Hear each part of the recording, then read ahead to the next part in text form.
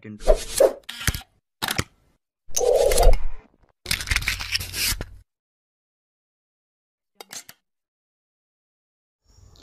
hi hello and welcome to Apna Gurukul official और दोस्तों, अब जो न्यूज़ आई है, वो एसएससी की रिगार्डिंग है।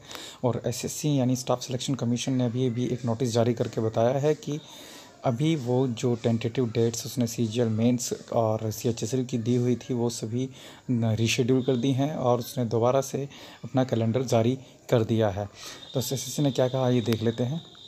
एसएससी ने कहा है in a view of the prevailing Covid nineteen pandemic situations the Staff Selection Commission has decided to reschedule its pending examination तो स्टाफ सिलेक्शन कमीशन ने कहा है कि उसमें अपने पेंडिंग एग्जामिनेशन का जो कैलेंडर है, वो रीशेड्यूल कर दिया गया है। The revise tentative schedules of the examination will be as per the given details below ठीक है?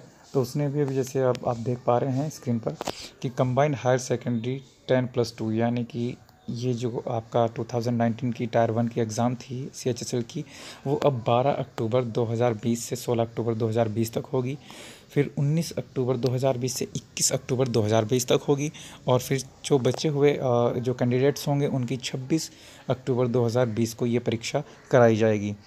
उसके बाद मेन जो मेन मेन एग्ज़ाम्स हैं, जैसे कि आपका गवर्नमेंट ग्रेजुएट लेवल हो गया टायर थर्ड 2019 का उसका एग्ज़ाम पहले 14 अक्टूबर से होना निर्धारित था। अब दो दो नवंबर 2020 से 5 नवंबर 2020 के बीच कराया जाएगा। ऐसे ही जूनियर ट्रांसलेटर और स्टेनोग्राफर ग्रेड सी का भी एग्ज़ाम 16 नवंबर 2020 से 18 नवंबर 2020 तक और junior Hindi translator junior translator senior Hindi translator and Hindi प्राध्यापक एग्जामिनेशन पेपर जो टायर वन था 2020 का, वो 19 नवंबर 2020 को अब कराया जाएगा। तो आज की वीडियो में आपके लिए यही सूचना थी। तो दोस्तों, मैं आगे भी आपके लिए ऐसी सूचनाएँ लेकर के आता रहूँगा। तब तक जुड़े रहिए अपना गुरुकुल ऑफिशियल के साथ। सब्सक्राइब कीजिए लाइक कीजिए और शेयर कीजिए।